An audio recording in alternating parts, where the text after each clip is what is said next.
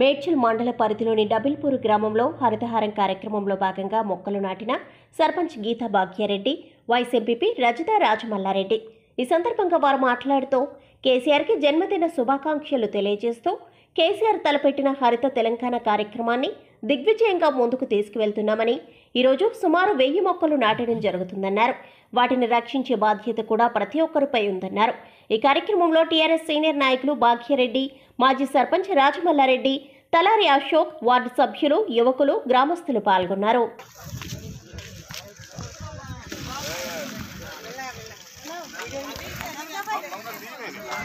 తీసిన.